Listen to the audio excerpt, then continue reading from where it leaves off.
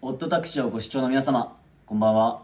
長嶋聡役の高杉真宙です、えーこれまでは声だけの登場だったんですけど、えーかなりの方がお気づきになられていたということで、まあ、まんまのちょっと声で結構バレバレだったんだなっていうのがちょっとあったんですけど、えー皆さんオーディオドラマの方は見て聞いていただけましたでしょうか？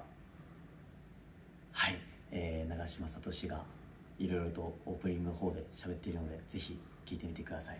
そして来週放送される第6話ではついに長嶋くんがあの人とという展開があります。ぜひ皆さん楽しみに待っていただけたら嬉しいです。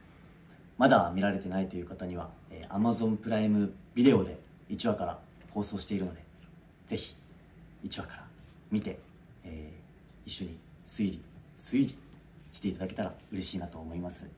それでは来週の放送もぜひ楽しみにしてください、えー以上長嶋聡役の高杉真宙でした。バイバイ。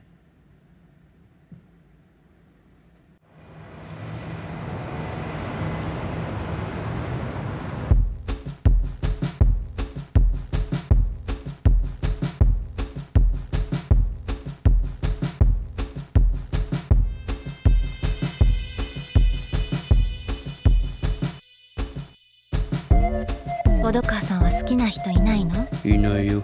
もったいない。恋すると人生楽しくなるよ。どうだ小戸川？眠れてるか？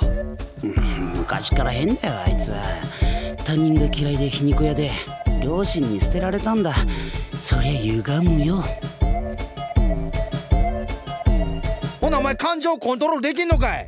そんなんできたら片思いとかこの世からなくなるやろ。なんやおもろいやんけその感じ。もっと公共の電波に乗せていけよそうそういうのいうのがおもろい言われてもどうしてええのか分からへんねん。その追い詰められて開き乗ってる感じや。あんだけガーン言われたらそりゃそうなるやろ。運転手さんこいつ中学の時ね女子と殴り合いの喧嘩しての引き分けよったんすよ。バズりたいんですよ。SNS でたくさん拡散されたいんです。本当にしょうもないことに時間かけてんだなここでニュースをお伝えします。東京都練馬区で女子高生の行方がわからなくなっています。深夜自宅から外出した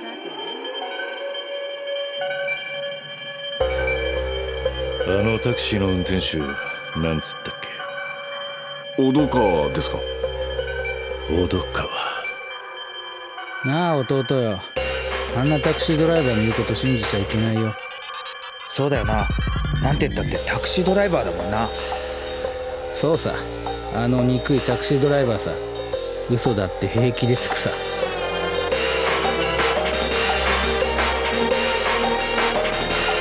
あれから俺の人生は狂っちまったんだ。お前のせいだ！誰かいるの？